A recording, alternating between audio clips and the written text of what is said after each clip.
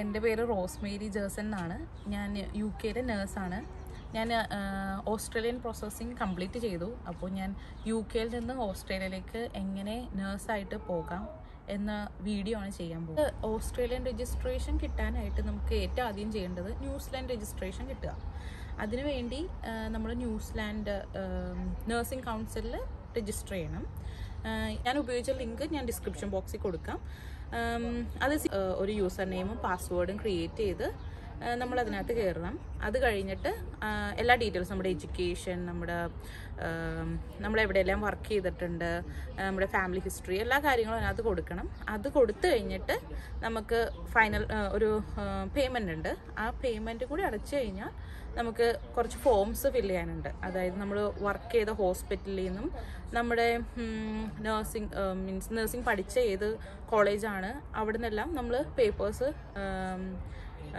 Collect ചെയ്യണം. അത് direct ആയിട്ട് സി ജി എഫ് എൻ എസിലേക്ക് നമ്മുടെ ഓരോ ഇൻസ്റ്റിറ്റ്യൂഷൻ ഇപ്പോൾ ഹോസ്പിറ്റലാണെങ്കിൽ ഹോസ്പിറ്റലിൽ നിന്ന് ഡയറക്റ്റ് നമ്മുടെ സി ജി എഫ് എൻ എസിലേക്ക് പോകണം. കോളേജ് ആണെങ്കിൽ അവിടെ നിന്ന് ഡയറക്റ്റ് പോകണം ഞാൻ ടൂ തൗസൻഡ് ട്വന്റി വണ്ണിലാണ് ശരിക്കും ഈ രജിസ്ട്രേഷൻ ചെയ്തത്. ഇപ്പോൾ മാറ്റങ്ങളുണ്ട്. ഇപ്പോൾ നമുക്ക് സെൽഫ് ഡിക്ലറേഷൻ ഫോം എന്ന് പറഞ്ഞിട്ട് ഒരു പുതിയ ഫോം വന്നിട്ടുണ്ട്. അതിൽ ഫൈവ് ഇയേഴ്സ് എക്സ്പീരിയൻസ് മാത്രം അവർ നോക്കുന്നുള്ളൂ. ആ ഫൈവ് ഇയേഴ്സിൽ ടു ഇയേഴ്സ് എങ്കിലും അവർ വർക്ക് ചെയ്യണം. അത് നമുക്ക് സെൽഫ് ഡിക്ലെയർ ചെയ്ത് ആ, പറയാവുന്നതേ ഉള്ളൂ. അതിനകത്ത് നമ്മൾ two thousand five hundred hours എങ്കിലും നേഴ്സായിട്ട് വർക്ക് ചെയ്യണം. ഇന്ന് നമ്മൾ സെൽഫ് ഡിക്ലെയർ ചെയ്താൽ അവർക്ക് ആ ഫോം മതി എന്നാണ് ഇപ്പോഴത്തെ മാറ്റങ്ങളിൽ വന്നേക്കുന്നത്.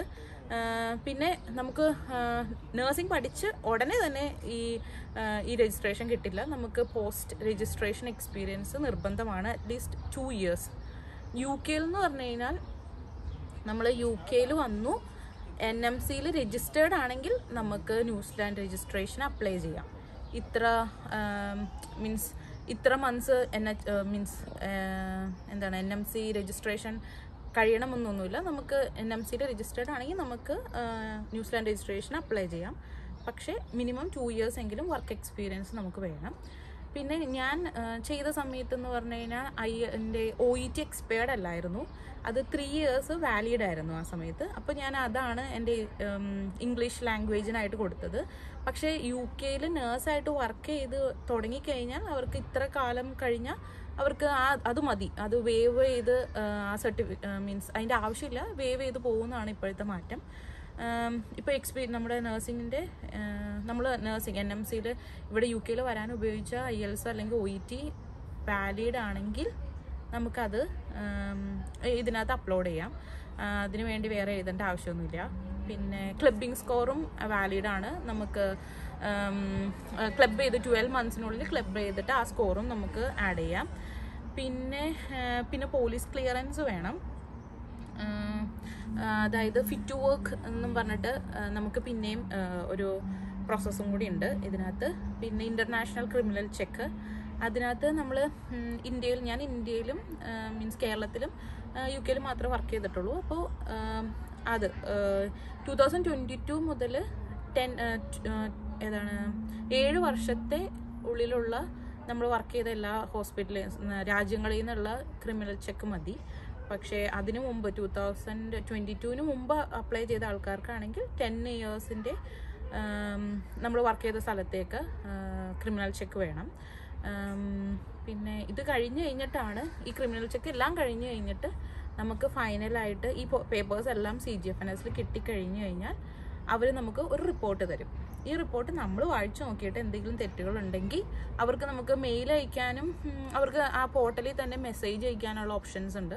C G F N S നമ്മൾ ഇത് വിളിക്കാം. അവരെ അവരുടെ നമ്പേഴ്സ് അതിനകത്തുണ്ട്. നമുക്ക് വിളിച്ചു കഴിഞ്ഞാൽ നന്നായിട്ട് നല്ല അപ്രോച്ചബിൾ ആൾക്കാരാണ്. നമുക്ക് എന്ത് ഡൗട്ട് വേണമെങ്കിലും അവരോട് ചോദിക്കാം. അവർ നമുക്കെല്ലാം ക്ലാരിഫൈ ചെയ്തു തരും. ഞാൻ ഈ പ്രോസസ്സിംഗ് എല്ലാം ഏജന്റ് വഴിയൊന്നും അല്ല ചെയ്തത്. തന്നെയാണ് ചെയ്തത്. അപ്പോൾ നമുക്ക് ഇതിനകത്തെല്ലാം മീൻസ് തന്നെ ചെയ്യാം എന്നുള്ള മീൻസ് നമുക്ക് ഡൗട്ട് ഉണ്ടെങ്കിൽ സി ജി ഫിറ്റ്നസ് അവരോട് ചോദിക്കാം. അപ്പോൾ അതുകൊണ്ട് നമുക്ക് അതിന്റെ ബുദ്ധിമുട്ടൊന്നും ഉണ്ടായിരുന്നില്ല. നമുക്ക് എല്ലാ കാര്യങ്ങളും തന്നെ ചെയ്യാൻ പറ്റിയായിരുന്നു.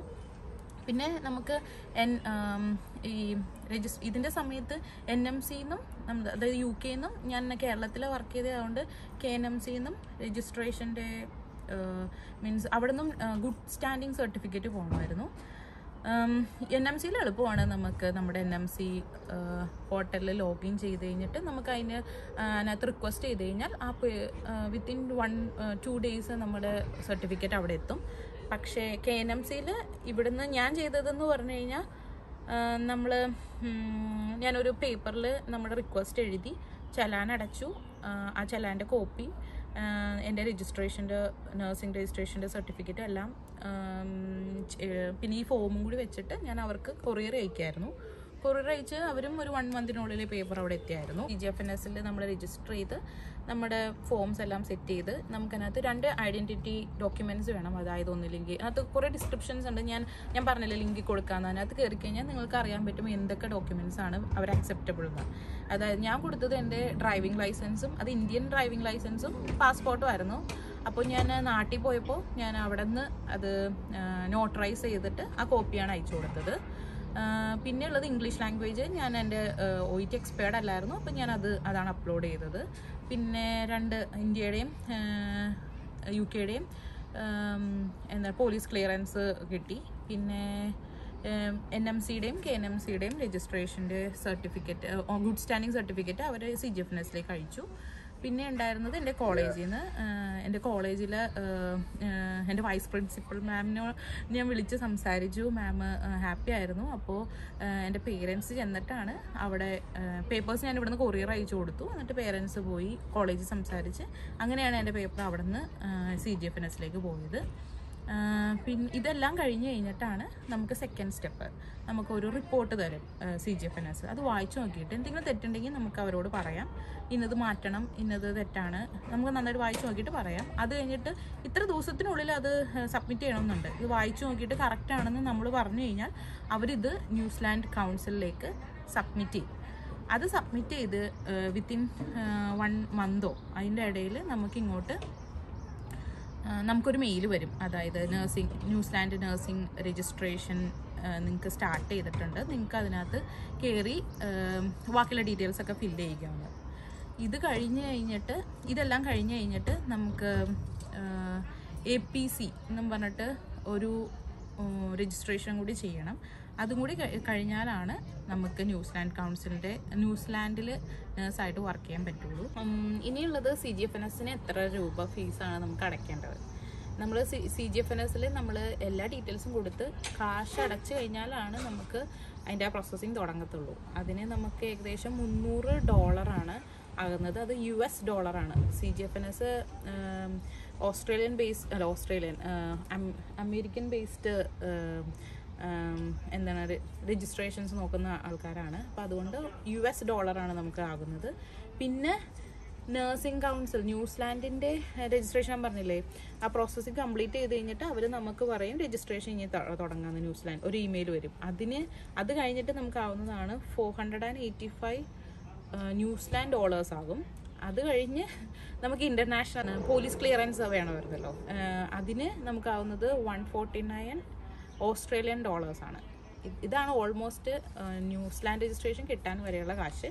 അത് കഴിഞ്ഞിട്ട് എ പി സി അതിനും നമുക്ക് സെപ്പറേറ്റ് എമൗണ്ട് ഉണ്ട്. ഇതിന്റെ എല്ലാ ഡീറ്റെയിൽസും നമുക്ക് ന്യൂസിലാൻഡിന്റെ രജിസ്ട്രേഷൻ ചെയ്യാനായിട്ട് അവരുടെ സൈറ്റിൽ കയറുമ്പോൾ എല്ലാ ഡീറ്റെയിൽസും ഉണ്ട്. എങ്ങനെ അപ്ലൈ ചെയ്യണം എന്തെല്ലാം സർട്ടിഫിക്കറ്റ്സ് നമ്മൾ നേരത്തെ റെഡിയാക്കി വെക്കണം. എല്ലാ ഡീറ്റെയിൽസും ഉണ്ട്. അത് നോക്കിക്കഴിഞ്ഞാൽ നമുക്ക് എല്ലാം മനസ്സിലാവും. ഞാൻ ന്യൂസിലാൻഡ് രജിസ്ട്രേഷൻ കിട്ടാനുള്ള എല്ലാ കാര്യങ്ങളും ഇപ്പോൾ പറഞ്ഞെന്നാണ് എനിക്ക് തോന്നുന്നത്. നിങ്ങൾക്ക് എന്തെങ്കിലും ഡൗട്ട് ഉണ്ടെങ്കിൽ കമന്റ് ബോക്സിൽ ചോദിക്കുക. എനിക്കപ്പോൾ റിപ്ലൈ ചെയ്യാൻ പറ്റും. ഞാൻ ഇങ്ങനെ ഓസ്ട്രേലിയൻ രജിസ്ട്രേഷൻ കിട്ടിയെന്ന് പറഞ്ഞപ്പോൾ എന്റെ കുറേ ഫ്രണ്ട്സ് എന്നോട് ചോദിച്ചത് എങ്ങനെയാണ് ചെയ്യുന്നത്? അതുകൊണ്ടാണ് ഞാൻ ഇങ്ങനെ ഒരു വീഡിയോ ചെയ്യാമെന്ന് ശരിക്കും കരുതിയത്. അപ്പോൾ ഹെൽപ്ഫുൾ ആവും. എല്ലാവർക്കും ഇത് നോക്കുമ്പോൾ എല്ലാ കാര്യങ്ങളും മനസ്സിലാവുമല്ലോ. അതുകൊണ്ടാണ് പിന്നെ ഞാൻ ഇങ്ങനെ ഒന്ന് ചെയ്യാമെന്ന് കരുതിയത്. പിന്നെ ഇനി നെക്സ്റ്റ് വീഡിയോസിൽ ഞാൻ എങ്ങനെയാണ് ന്യൂസിലാൻഡ് രജിസ്ട്രേഷൻ കൊണ്ട് നമുക്ക് ഓസ്ട്രേലിയ രജിസ്ട്രേഷൻ കിട്ടുക? പിന്നെ നമുക്ക് എങ്ങനെ ജോബ് കണ്ടുപിടിക്കാം ഓസ്ട്രേലിയയിൽ. പിന്നെ ആൻഡ് മാക് രജിസ്ട്രേഷൻ എങ്ങനെ ചെയ്യാം. ഇതെല്ലാം ഞാൻ തന്നെയാണ് ചെയ്തത്. അപ്പോൾ ഈ ഇത് ഈ വീഡിയോസൊക്കെ നമുക്ക് നെക്സ്റ്റ് വീഡിയോസിൽ കാണാൻ പറ്റും. Thank you for so much for watching please like subscribe and ഇത് ആവശ്യമുള്ളവർക്കൊക്കെ സെൻഡ് ചെയ്ത് കൊടുക്കുക താങ്ക് യു